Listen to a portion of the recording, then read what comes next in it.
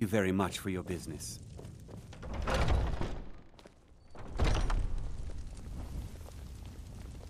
I've been looking for you.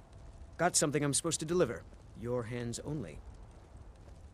Let's see here. A note from someone named Calcelmo in Markarth. Looks like that's it. Got to go. Yeah, yeah, yeah. Goodbye.